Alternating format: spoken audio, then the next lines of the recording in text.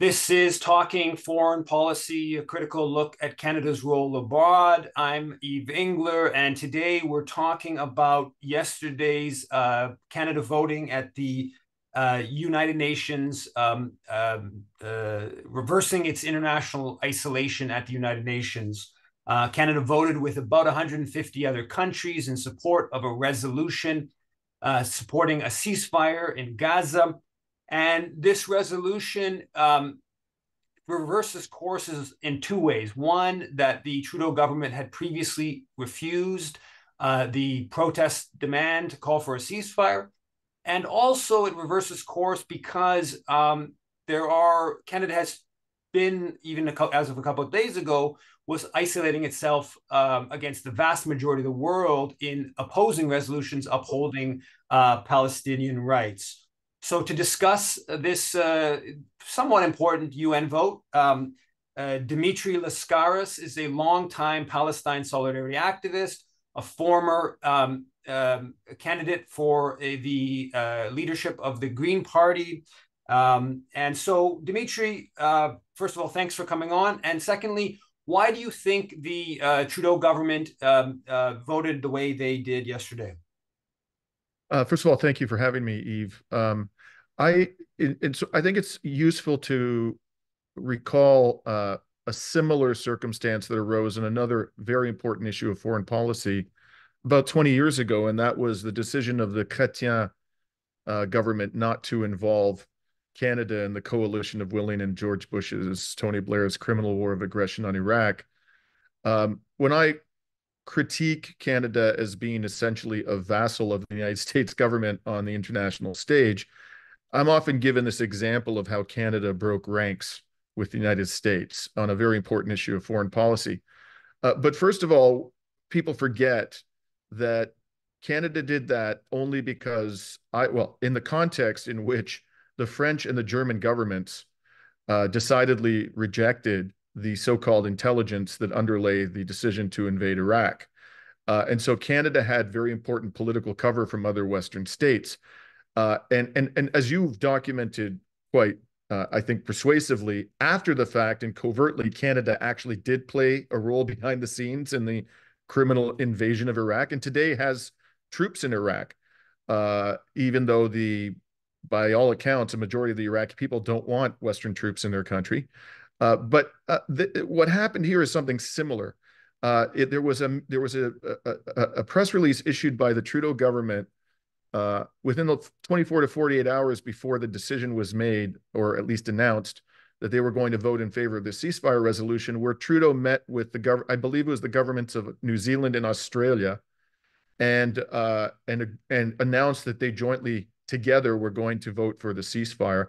And in addition, although they weren't part of this discussion, there probably were discussions going on behind the scenes with other major European countries, including France and Belgium, who voted in favor of the ceasefire.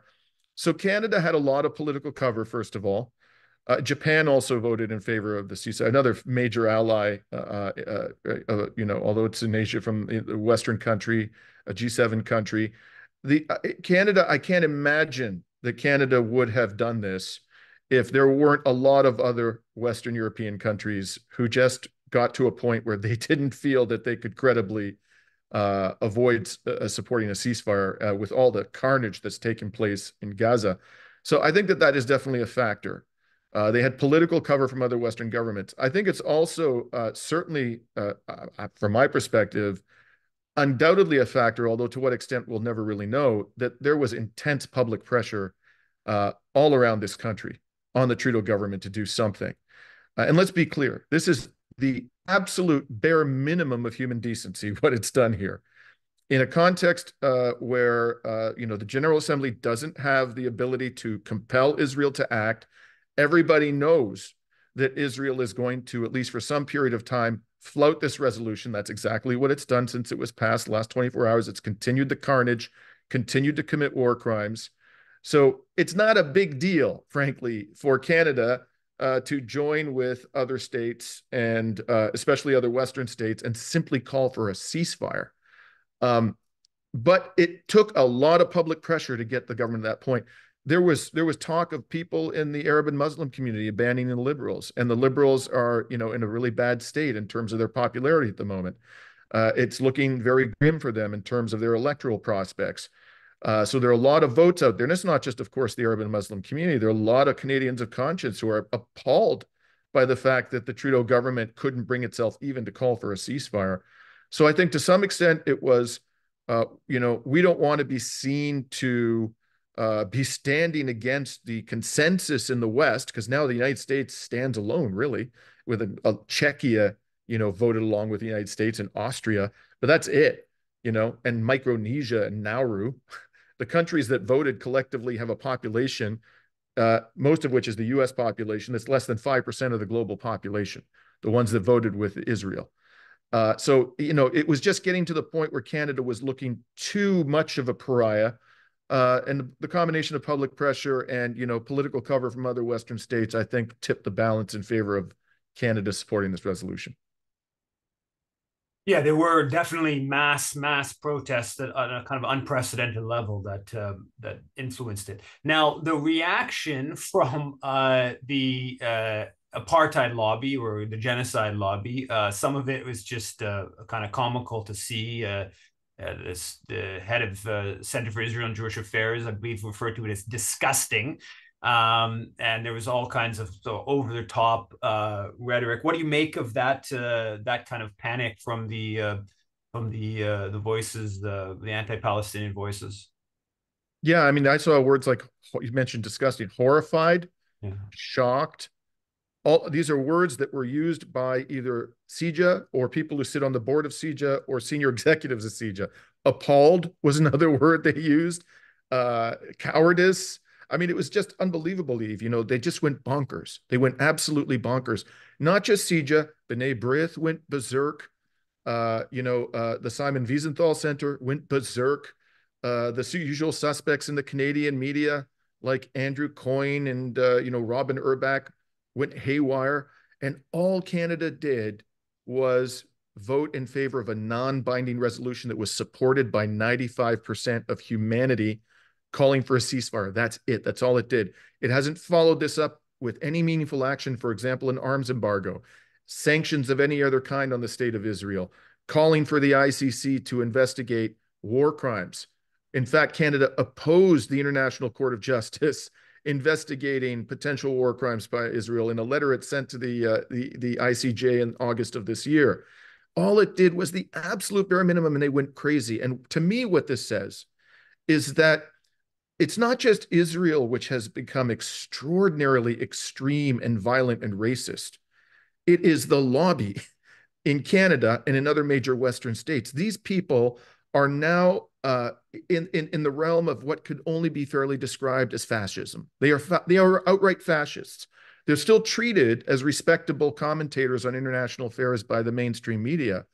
But for them to react in this manner after 20,000 people have been slaughtered in Gaza, 9,000 plus children at a minimum, you know, over 70 journalists, hundreds of medical personnel, hundreds of United Nations employees, for them to react this way because of what the Trudeau government did means these people are extreme genocidal racists.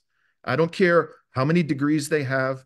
I don't care how esteemed they are in the community, how much money they've made, how influential they are in the mainstream discourse. If you react that way to what the Trudeau government did, you're a supporter of Israel, you are a genocidal racist, period. Yeah, and so uh, I certainly agree with that. It's pretty it is pretty mar- remarkable to uh, to watch this play out and and this types of reactions. But so like you know this is really an absolute bare minimum, right? And it doesn't compel Israel to do anything. Uh, the the Security Council resolution that the U.S. Um, vetoed uh, does have. Uh, uh, the legal weight of the of international law. Israel can still, of course, flout that. Um, uh, but it but it's it's symbolically important. I think it it does also put pressure on the U.S. and part of what this this resolution is doing is building that diplomatic pressure, not directly on Israel, but on the patron uh, that's providing the diplomatic cover for all the crimes that Israel's committing Washington, and and it increases the pressure. And there's talk about another resolution to be brought uh, to the Security Council to make it, you know, force Washington's hand uh, one more time. Um, so some of that going on, but from a, from a Canadian uh, perspective, this is really a first step, minimum step.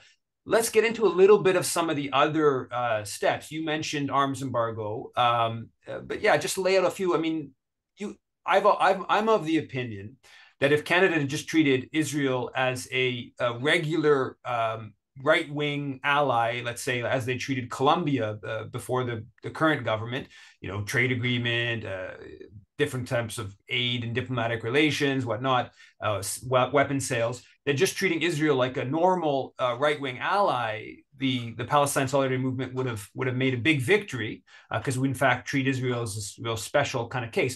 But yeah, just go through a little bit of what um, you know if if they're really serious about about um, about uh, uh, having Israel uh, you know stop the slaughter in Gaza, some of the things they could do quite quite easily. Okay, so they they under the Canada Free Trade uh, uh, Israel Free Trade Agreement, they confer trade benefits on the settlements on products made in the settlements.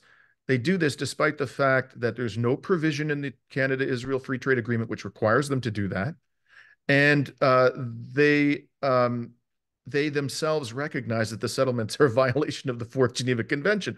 So they could just announce they don't need to go to go to any jurisdiction. They have to provide any, you know, adopt any legislation. The government could just announce that we're not going to, you know, uh, provide a, a preferential tariff treatment on products uh, produced in Israel's uh, uh West Bank settlements. Uh, they could say, uh, right now they're doing the opposite. They could say, we aren't going to allow product of Israel labels to appear on any of those products. You're going to have to say that they come from the West, the occupied West Bank, from an Israeli settlement in occupied territory. They could do that without legislation. Uh, they could impose an arms embargo. Let's look at all the uh, the the the sanctions they've imposed on Russia, and Russia has not conducted the war there. It's certainly uh, engaged in acts of extreme violence, and there have been civilians killed, no doubt about it.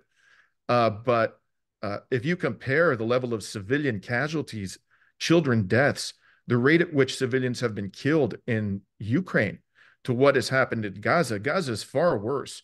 So why not just impose upon Israel the same sanctions which the Canadian government has imposed upon Russia? Uh, they won't even do the bare minimum, which is an arms embargo.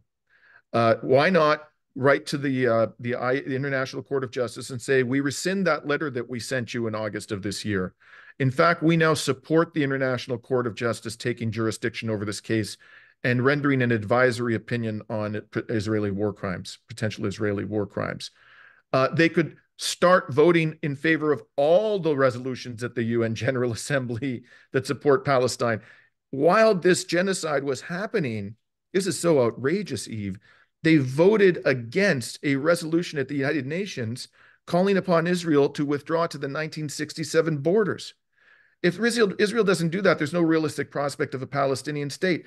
They say constantly that they support the two state solution and they vote against a resolution that was supported by the vast majority of states simply calling on Israel to withdraw to the 1967 borders. So why not go to what back to what Canada did decades ago, before Martin, before Harper, when they generally voted in favor of UN General Assembly resolutions that supported the, the fundamental human rights of the Palestinian people. And they could do more than this, right? They're, they're just a simple rhetorical uh, uh, a change, transformation in the way they address this conflict. They could start talking about the fact that Israel is potentially committing a genocide, that there is a real case to be made against Israel for genocide. They could start using words like war crimes, crimes against humanity. These are things that are completely absent from the government's lexicon. They could recognize, as has Amnesty International, Human Rights Watch, the UN Human Rights Council, B'Tselem, Yesh Din, and on and on, that Israel is committing the crime of apartheid, instead of denying that that's the case without ever explaining why they disagree with the human rights consensus. There's so many things they could do, Yves. They have done the absolute, I cannot stress this enough because, you know, we in the Palestinian solidarity community in this country, we have been conditioned to be grateful for crumbs. I've seen this over and over and over again. Once in a while, the Trudeau government will toss us a crumb and we get all excited and we clap like trained seals and we go, oh, great, look what they've done. This is not even close to being sufficient for any citizen of conscience. Now we have to demand much more. This is not adequate. It's insult, and in fact, this this exercise in rank appeasement that the government engaged in uh, after it cast this vote. Trudeau gets on the phone. He calls the war criminal Net- Netanyahu, who was almost apologizing for this, almost apologizing instead of berating the war criminal for the genocide that he's uh, he's masterminding in Gaza. Uh, you know, and then Mélanie Joly came out and she was saying things like, you know, we demand the return of the hostages and those brutal savages from Hamas and all and, and on and on. And there were other people who trotted who were trotted out from the Trudeau government to appease the lobby. What they should be doing is saying, this is the beginning. Okay, we've had it. We're done. We cannot support this any longer. And if Israel doesn't stop, we are going to escalate. And we're going to move in the direction of taking the steps that we've taken with respect to Russia, for example, Iran, China, on this whole Uyghur question. That's what they should be doing. And we in the Palestinian solidarity community should not even begin to be content with what was accomplished yesterday. It's significant. We deserve uh, a little bit of credit for this, I think, collectively as a movement, but it's not remotely enough. Well, that was a uh, uh, thanks a lot, uh, Dimitri. This is the Canadian. Um, this is talking foreign policy, uh, international perspective on Canada's role abroad, and uh, thanks again, uh, Dimitri Lascaris. Thank you.